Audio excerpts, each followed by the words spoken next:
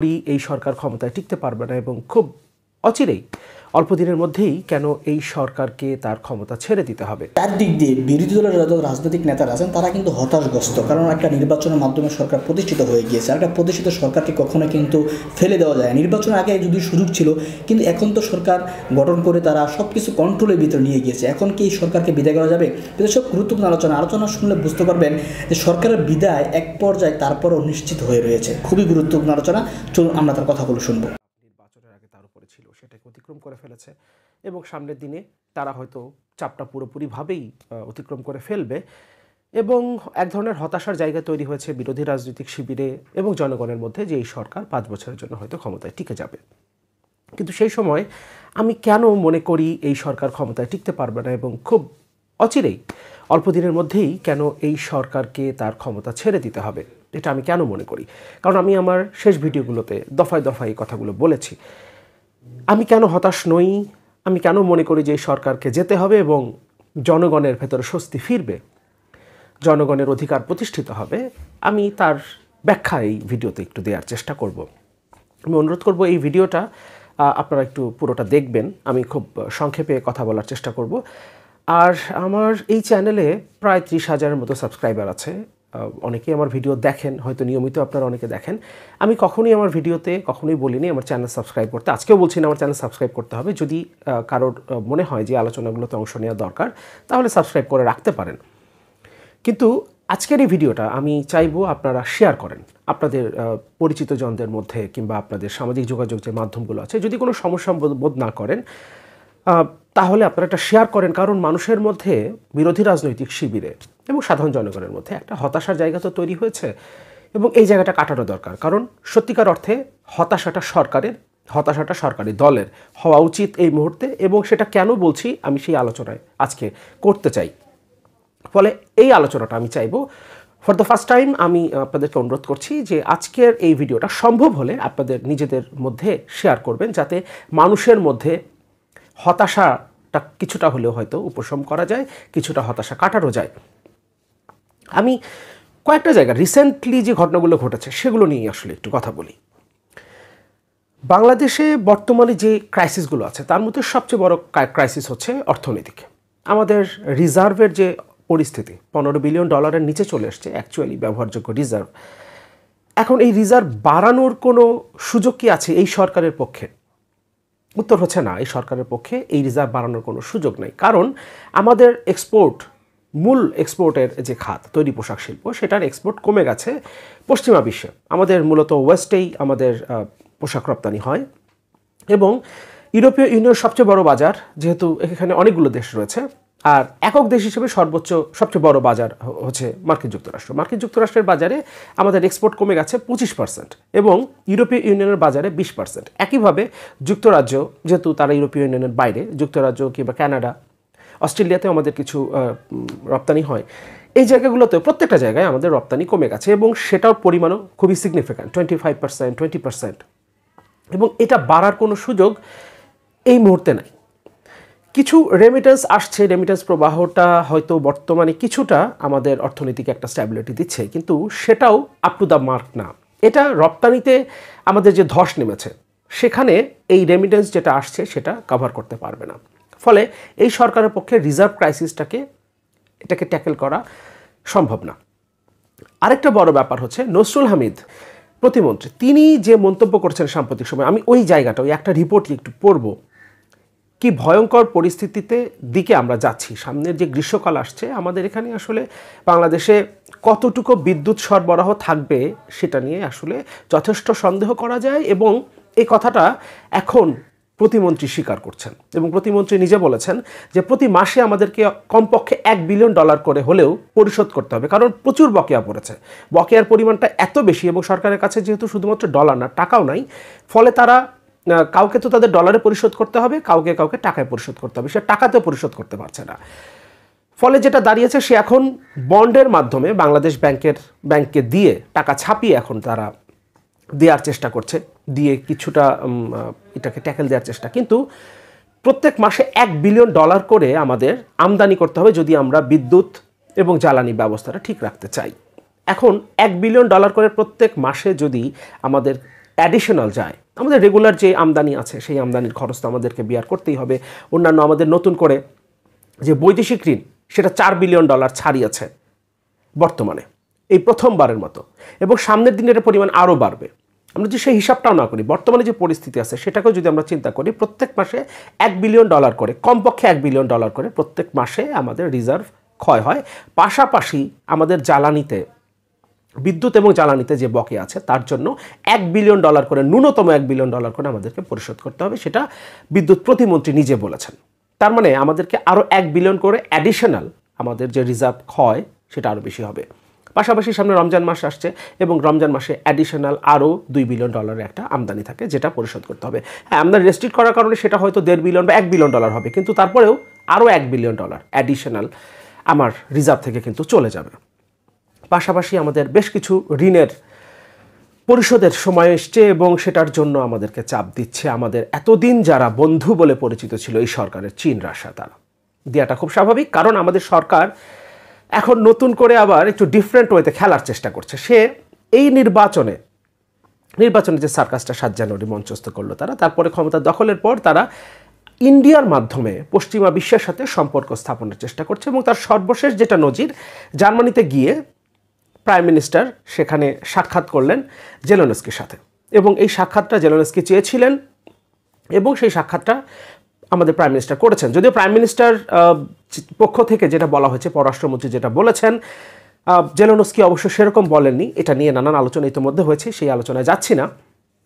কিন্তু সেখানে যে কথাটা রাশিয়ার রাষ্ট্রদূত বলেছিলেন এই বৈঠকের আগেই প্রধানমন্ত্রী যখন সিদ্ধান্ত হলো যখন প্রধানমন্ত্রীর বৈঠকে, তখনই রাশিয়ার রাষ্ট্রদূত যে মন্তব্য করেছিলেন যে এটা পশ্চিমা প্রেসক্রিপশনে হচ্ছে এবং পশ্চিমা প্রেসক্রিপশন এক ধরনের ভণ্ডামি হবে এই বৈঠকে এবং একটা নতুন কোনো এক ধরনের প্রেসক্রিপশন দিবে হয়তো জেলনস্কি প্রধানমন্ত্রীকে এবং জেলনস্কি কিন্তু তার টুইটে সেরকমই বার্তা দিয়েছে।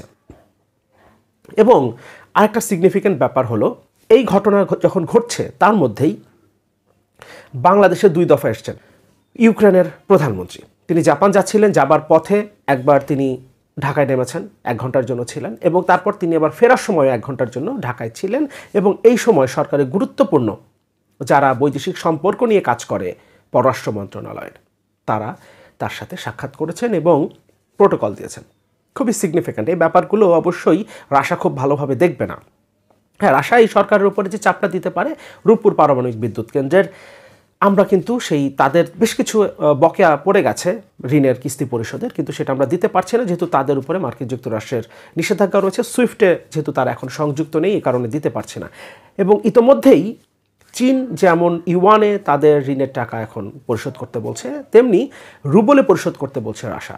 এবং এই ঘটনাগুলো ঘটার পর, অর্থাৎ পশ্চিমের দিকে, ইউরোপীয় ইউনিয়নের দিকে এবং সরাসরি যেখানে রাশার যুদ্ধ চলছে, সেই ইউক্রেনের প্রেসিডেন্টের সাথে প্রধানমন্ত্রীর সাক্ষাৎ এবং ইউক্রেনের প্রধানমন্ত্রীর বাংলাদেশে দুবার আসা এবং সেই সময় সরকারের পররাষ্ট্র মন্ত্রণালয় গুরুত্বপূর্ণ ব্যক্তিদের তার সাথে সাক্ষাৎ করা।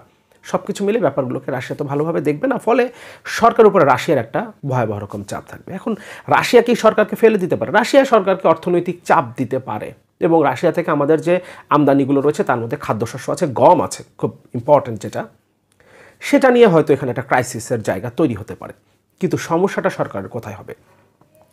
মার্কিন যুক্তরাষ্ট্র বা পশ্চিমা বিশ্ব, এখন সরকারের বিরুদ্ধে সেরকম কোনো স্টেপ নিচ্ছে না। কিন্তু বাস্তবতা হচ্ছে এই ধরনের একটা সরকার।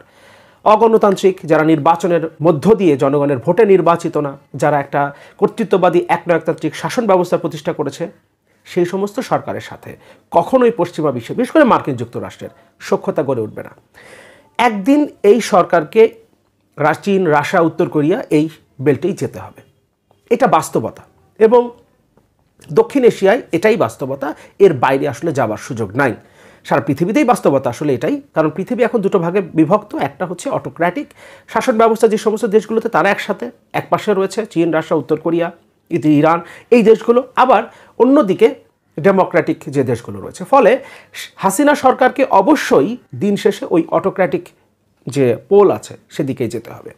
ফলে কোনো না কোনো সময়, এবং সেটা খুব অনেক পরে হবে ব্যাপারটা সেরকম আমি মনে করি না। কারণ এই সরকারের সাথে সহযোগিতার কথা পশ্চিমা বিশ্ব বলছে মার্কিন যুক্তরাষ্ট্র বলছে, বিভিন্ন জায়গায় কাজ করার কথা, জলবায়ু পরিবর্তন নিয়ে কাজ করার কথা, রোহিঙ্গা সমস্যা নিয়ে কাজ করার কথা। হ্যাঁ সম্প্রতি মিয়ানমার যুদ্ধটা হয়তো খুব গুরুত্বপূর্ণ একটা বিষয় হয়ে দাঁড়িয়েছে একটা মাথা ব্যথার কারণ হয়ে দাঁড়িয়েছে, সবগুলো পক্ষের জন্য চীন বলি কিংবা যদিও চীন এখানে আসলে খেলছে কিন্তু ভারত এবং মার্কিন যুক্তরাষ্ট্রের জন্য এটা প্রচণ্ড রকম মাথা ব্যথার একটা কারণ হয়ে দাঁড়িয়েছে। ফলে এই জায়গাতে হয়তো এই সরকারের সাথে তাদেরকে কাজ করতে হবে এবং তার কাজ কাজ করতে বাধ্য এই সরকারের সাথে। কিন্তু তারা এখন পর্যন্ত কিন্তু নির্বাচন নিয়ে তাদের আগের জায়গায় আছে। নির্বাচন হয় নাই। নির্বাচনটা অবাধ, সুষ্ঠু, নিরপেক্ষ এবং অংশগ্রহণমূলক তো অবশ্যই হয় নাই। এবং এই নির্বাচনকে তারা স্বীকৃতি দিচ্ছে না এমনকি এই সরকারকে কিন্তু এখন পর্যন্ত শুভেচ্ছা, অভিনন্দন কিছুই জানায়নি। এর মধ্যে বাইডেনের চিঠি এসছে প্রধানমন্ত্রীর কাছে। কিন্তু সেখানেও নির্বাচন নিয়ে কোনো কথা ছিল না। নতুন করে ক্ষমতা দখল করায় বা নতুন করে প্রধানমন্ত্রী হওয়ায় তাকে কোনো শুভেচ্ছার কথা সেই চিঠিতে ছিল না। তার মানে সরকারকে কিন্তু এখন পর্যন্ত মার্কিন যুক্তরাষ্ট্র স্বীকৃতি দেয়নি। কিন্তু তারা কাজ করছে। কাজ করার করতে হয়। এটা কূটনীতিতে আপনি একেবারে সরাসরি সম্পর্ক ছিন্ন তো করবেন না। এবং যেহেতু এমন আবার দেশ যেখানে আপনার ইনভেস্টমেন্ট আছে এবং হিউজ ইনভেস্টমেন্ট আছে এবং বিভিন্ন ধরনের ইন্টারেস্ট আছে জিও পলিটিক্যাল হিসেব নিকেশে যে আপনার জন্য গুরুত্বপূর্ণ, তার সাথে আপনি সম্পর্ক তো সম্পূর্ণরূপে ছিন্ন করবেন না, যখন সেখানে একটা সরকার যেভাবেই হোক না কেন সে ক্ষমতা দখল করেছে। ফলে এখন মার্কিন যুক্তরাষ্ট্র এখানে চাপ না দিলেও একটা সময় গিয়ে যে সে এই সরকারের বিরুদ্ধে কিংবা ডেমোক্রেসি হিউম্যান রাইটসের যে পয়েন্ট এই পয়েন্ট নিয়ে সে আসলে চাপ দেবে না, সেটা বলা যায় না। এবং সবচেয়ে গুরুত্বপূর্ণ জায়গাটা হচ্ছে চীন এবং রাশাকে খেপিয়ে তুলছে এই সরকার। ফলে জাতিসংঘের নিরাপত্তা পরিষদে কখনো যদি বাংলাদেশের শান্তিরক্ষা মিশন থেকে বাংলাদেশের সৈন্য প্রত্যাহার, এর আগে কিন্তু বেশ কয়েকবার আলোচনা এসছে, যেমনটা জিএসপি সুবিধা তুলে নেওয়ার আলোচনা এসছে ইউরোপীয় ইউনিয়নে, তেমনি বাংলাদেশের শান্তিরক্ষা মিশনের সৈন্যদেরকে তুলে নেওয়ার ব্যাপারে জাতিসংঘ থেকে একটা আলোচনা কিন্তু এসছে। এবং সে সময় চীন রাশা এক ধরনের ঢাল হিসেবে ছিল সরকারের জন্য। কারণ কিংবা আরও যে কোনো বিষয়ই যদি মার্কিন যুক্তরাষ্ট্র সহ পশ্চিমা বিশ্ব এই সরকারের বিরুদ্ধে নিরাপত্তা পরিষদে, জাতীয় সংসদ নিরাপত্তা পরিষদে যদি কোনো প্রস্তাব আনে, তাহলে এই সরকারের পক্ষে দাঁড়ানোর জন্য কিংবা কোনো একটা প্রস্তাবে ভেটো দেওয়ার জন্য চীন রাশা ছিল। কিন্তু নতুন করে ক্ষমতা দখলের পর এই ক্ষমতাকে পাকাপোক্ত করার জন্য চীন রাশাকে ছেড়ে এখন এই সরকার পশ্চিমা বিশ্বের সাথে সম্পর্ক স্থাপনের জন্য যে গেস্টার দেখাচ্ছে, তাতে চীন রাশা অবশ্যই হাসিনা সরকারকে এই ধরনের একটা পরিস্থিতিতে পাশে থাকবে না। সহায়তা করবে না এবং চীন রাশা যে সহায়তা করে না, কোন, এই কোনো একটা সরকার যখন বিপদে পড়ে, তার বহু নজির আছে, সেই জায়গাটাতে আসব, ওটা দিয়ে ইনফ্যাক্ট শেষ করব। আর যে রিপোর্টটা পড়তে চেয়েছিলাম, সেই রিপোর্টটা পড়ছি না কারণ ভিডিওটা লম্বা হয়ে যাবে। ভিডিওটার মূল বিষয় হচ্ছে আমাদের এখন যে দেনাটা আছে, সেই দেনার পরিমাণটা আমাদের এখন যে রিজার্ভ পনেরো বিলিয়ন ডলার তার প্রায় সমান, বা তার থেকে বেশিও হতে পারে। আমরা যদি পুরোটা হিসাব করি, অর্থাৎ জ্বালানি খাতের। এবং এখানে প্রত্যেক মাসে আমরা যদি আমাদের যে পরিমাণ আমদানির প্রয়োজন হয় কয়লা, জ্বালানি তেল, গ্যাস, সেগুলো যদি আমরা আনতে চাই, তাহলে আমাকে কমপক্ষে এক বিলিয়ন ডলার করে পরিশোধ করতে হবে। আগের যেগুলো বকে আছে, সেটা তো পরিশোধ করতে হবে। নতুন করে যেগুলো আমি আনব, সেগুলোর জন্য আমাকে পেমেন্ট করতে হবে। কারণ আমরা যাদের কাছ থেকে আমদানি করতাম, তারা আমাদের উপরে আস্থা হারিয়ে ফেলেছে। কারণ আমরা অনেক দিন থেকেই পেমেন্ট করতে পারছি না। পাশাপাশি শেভরন সহ বিদেশি যে প্রতিষ্ঠানগুলো বাংলাদেশে কাজ করে, জ্বালানি সেক্টরে তাদের কাছে অনেক বকেয়া পড়েছে। সব কিছুই আমরা পরিশোধ করতে গেলে আমাদের প্রতি মাসে এক বিলিয়ন ডলারের বেশি করে আমাদের রিজার্ভ থেকে চলে যাবে। ফলে আগামী দিনগুলোতে আমাদের নর্মাল যে রিজার্ভ ক্ষয়, এক বিলিয়ন ডলার করে, সেখানে আমাদেরকে ধরে নিতে হবে যে কমপক্ষে দুই বিলিয়ন ডলার করে আমাদের রিজার্ভ ক্ষয় হবে। আরও পাশাপাশি আরও তো রয়েছেই। ফলে আমাদের এখন যে পনেরো বিলিয়ন ডলার রিজার্ভ আছে, সেটা মোটামুটি এক মাসের রিজার্ভ যেটা মানে এক মাসের আমদানি ব্যয় মেটানোর জন্য, ছয় ছয় বিলিয়ন ডলার যদি আমরা ধরি, তাহলে মোটামুটি আগামী তিন চার মাসের মধ্যে, অর্থাৎ এই রমজান মাসটা পার হতে হতে আমাদের রিজার্ভ ওরকম একটা জায়গায় চলে চলে আসবে। এবং যে আলোচনাটায় আসছিলাম এরকম একটা পরিস্থিতি যদি চলে আসে, তাহলে চীন রাশাকে সরকারের পাশে দাঁড়াবে? চীন রাশাকে দাঁড়ায়? শ্রীলঙ্কাতে এখন মূল্যস্ফীতি বাংলাদেশের থেকে কম এবং অনেক পণ্যের দাম, প্রায় নাইনটি ফাইভ পার্সেন্ট পণ্যের দাম বাংলাদেশের থেকে শ্রীলঙ্কা এখন কম। কিন্তু এই শ্রীলঙ্কার কিছুদিন আগে কী অবস্থা ছিল? এবং যখন এই পরিস্থিতিতে শ্রীলঙ্কা পড়েছে, তখন তার সবচেয়ে কাছের বন্ধু চীন। সে কিন্তু আর পাশে ছিল না। চীনকে কিন্তু শ্রীলঙ্কা তখন আর খুঁজে পায়নি। শ্রীলঙ্কা আবার যে ঘুরে দাঁড়িয়েছে, সেটা পশ্চিমা সহযোগিতায়, বিশেষ করে ইন্ডিয়া সেখানে বেশ সাপোর্ট দিয়েছে, দিয়ে শ্রীলঙ্কাকে আজকে এই জায়গাতে আনতে পেরেছে। হ্যাঁ তাহলে কি ভারত কিংবা মার্কিন যুক্তরাষ্ট্র সহ পশ্চিমা বিশ্ব এই সরকারকে সেই পরিস্থিতিতে সাপোর্ট দিয়ে উঠে, তুলে আনবে? আমাদের খেয়াল রাখতে হবে রাজাপাকসের সরকার যখন পতন হয়েছে, যখন নতুন সরকার এসছে, সেই সরকারের সাথে তখন পশ্চিমা বিশ্ব কিংবা ভারতের মাধ্যমে যেভাবেই হোক না কেন বা ভারত নিজে সহায়তা করেছে। কিন্তু চীন পাশে ছিল না রাজাপাকসের পাশেও ছিল না এবং যখন একটা বিধ্বস্ত দেশ শ্রীলঙ্কা সে সময় নতুন সরকারের পাশেও চীন ছিল না, রাশা ছিল না। ফলে চীন, রাশা সরকার যখন এই ধরনের একটা বিপদে পড়বে, তখন তার পক্ষে দাঁড়াবে না। কিন্তু গুরুত্বপূর্ণ ব্যাপার হচ্ছে, এখন তো এই সরকার মার্কিন যুক্তরাষ্ট্র সহ পশ্চিমা বিশ্ব এবং ইন্ডিয়ার সাথে গুড গেস্টার দেখানোর চেষ্টা করছে, বন্ধুত্ব দেখানোর চেষ্টা করছে। তাহলে কি তারা সহায়তা করবে? না, তারা সহায়তা করবে যখন এই অগণতান্ত্রিক সরকারের। রাজা পাকসের যেমন পতন হয়েছিল, তেমন যখন এখানেও বাংলাদেশেও যখন এই সরকারের এই একনায়কতান্ত্রিক শাসনের অবসান হবে, তারপরে পশ্চিমা বিশ্ব তথা গণতান্ত্রিক বিশ্ব বাংলাদেশকে সহায়তা করবে। ফলে সব কিছু মিলে আপনি যদি চিন্তা করেন, অর্থনীতির যে পরিস্থিতি আমাদের, সেখানে আমাদের যে সহায়তা লাগবে, সেখানে চীন রাষ্ট্র আমাদের পাশে দাঁড়াবে না এবং ক্ষমতাকে কুক্ষিগত করে রাখার জন্য সরকার এক এক সময় এক দিকে খেলার চেষ্টা করছে, ফলে পশ্চিমা বিশ্বও এই সরকারকে বিশ্বাস করে না। এখন যারা এতদিন এই সরকারকে সাপোর্ট দিয়েছে, তারাও আর এই সরকারকে বিশ্বাস করছে না। ফলে তারা এখন তাদের ঋণের টাকা ফেরত চাইছে, তারা নানাভাবে চাপ দিচ্ছে। এমনকি প্রধানমন্ত্রীর বৈঠককে ভণ্ডামি বলে আখ্যায়িত করেছে চীন, রাশিয়ার রাষ্ট্রদূত। ফলে পরিস্থিতিটা এখন সরকারের কোনোভাবেই অনুকূলে না। হয়তো আমরা দেখতে পাচ্ছি মার্কিন যুক্তরাষ্ট্রের প্রতিনিধিরা আসছে রাফিল আক্তার আসবেন, আরও অনেকেই হয়তো বাংলাদেশে আসবেন। কিন্তু এর মানে এটা দাঁড়ায় না যে এই সরকারকে পুরোপুরিভাবে পশ্চিমা বিশ্ব সমর্থন দিবে এবং যে কোনো বিপদে পড়লে তাদেরকে রক্ষা করবে। কারণ এখন পর্যন্ত এই সরকারকে কিন্তু পশ্চিমা বিশ্ব বা মার্কিন যুক্তরাষ্ট্র স্বীকৃতি দেয়নি এবং নির্বাচনের ব্যাপারে তাদের আগের অবস্থান থেকে তারা সরে আসেনি। ফলে গ্রাউন্ডটা তৈরি আছে। যে কোনো সময় পশ্চিমা বিশ্ব একটু স্ট্যাবল যদি হয়, বেশ কয়েকটা যুদ্ধের মধ্যে আছে। ইউক্রেন রাশা এদিকে ইসরায়েল এবং হামাসের মধ্যে যুদ্ধ ইসরায়েল ফিলিস্তিন যুদ্ধ, হুতিদের সাথে একটা টেনশন আছে। পাশাপাশি এখন মিয়ানমার যুদ্ধ গৃহযুদ্ধ এই সব কিছু মিলিয়ে আমাদের সারা পৃথিবীতে যে ক্রাইসিসটা চলছে, সেখানে একটু স্ট্যাবিলিটি আসলেই মার্কিন যুক্তরাষ্ট্র হয়তো বাংলাদেশের দিকে নজর দিবে এবং তখন জাতিসংঘের নিরাপত্তা পরিষদে কোনো প্রস্তাব যদি বাংলাদেশের এই সরকারের বিপক্ষে আসে, তখন চীন রাশাকে আর পাশে পাবে না। এই সরকার, ফলে এই সরকার সার্বিকভাবে বিপদের মধ্যে আছে এবং আমি মনে করি, এই সরকার খুব বেশি দিন ক্ষমতা টিকতে পারবে না। তার পেছনে যথেষ্ট যুক্তি আছে। দর্শক, আলোচনা শুনেছেন, আলোচনা শুনে বুঝতে পেরেছেন যে যদিও আমরা জানি যে সরকার সব কিছু করে ফেলেছে, কিন্তু তারপরও তাদের ভিতরে একটা শঙ্কা রয়েছে যে তারা ক্ষমতা হারাতে পারে বা ক্ষমতা হারাবে। এগুলো কিন্তু বিভিন্ন উদাহরণ তিনি দেখিয়েছেন, এগুলোর কারণটা কেন এমন মনে হচ্ছে। তো আসলে বাংলাদেশের মানুষ এটা মনে করে যে সরকার এই পাঁচ বছর থাকতে পারবে না। যেভাবে চোদ্দ আঠারোতে পাঁচ বছর ছিল, এইবার হয়তো এক, দেড় বছর থাকতে পারবে, অথবা এর আগেও ক্ষমতা ছাড়তে হবে।